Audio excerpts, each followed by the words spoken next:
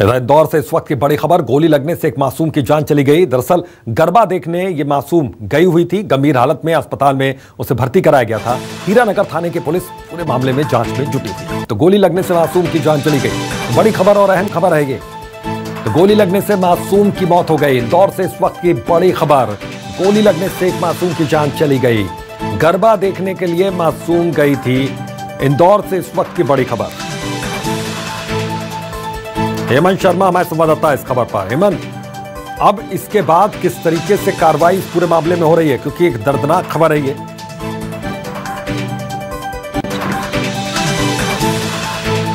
हेमंत आप तक आवाज़ पहुँच रही है मेरी? हेमंत इस पूरे मामले में अब क्या हो रहा है? जी। बिल्कुल अभी तो ये पूरा मामला जो है इंदौर के हीरानगर थाना क्षेत्र के माँ शारदा नगर का है जहाँ पर माँ के साथ गरबा देखने गई। बच्ची की अचानक जो स्थिति है वो बिगड़ गई, उसके सर से खून आने लग गया। इसके बाद जब परिजन उसे अस्पताल लेकर पहुँचे और जब उसकी एमआरआई हुई, उसमें गोली लगने की बात सामने आई है और अब पुलिस ने जो है मार्ग कायम कर, बॉडी को पोस्टमार्टम के लिए भिजवाया है और पूरे मामले की बारीकी जाँच में जुटी हुई है। आसपास लगे सीसीटीवी फुटेजों को पुलिस खंगालने में जुटी हुई है।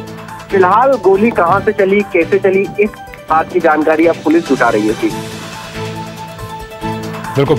हेमंत, एक चीज़ और मैं जानना चाहूँगा कि आखिर कैसे वो शख्स वहाँ पर पहुँचा, गोली चली? क्या कुछ और लोग भी उसमें जख्मी हुए? क्योंकि एक बच्ची की जान यहाँ पर चली गई और बहुत बड़ा मामला ये है। देखिए बिल्कुल आ, ये जब गोली चलने की आवाज़ आई थी तो आसपास में जो लोग मौजूद थे उनका ये कहना है कि गोली जब चली थी तो यहाँ पर आवाज़ सुनाई दी थी उसके बाद बच्ची को गिरा हुआ देखा और तत्काल उसे अस्पताल ले जाकर भर्ती कराया तो जहाँ पर आ, उसे डॉक्टरों ने मृत घोषित कर दिया और बॉडी को पीएम के लिए एमआई अस्पताल भिजवा दिया। हम्म, बहुत बहुत शुक्रिया हेमंत इस तमाम जानकारी के लिए।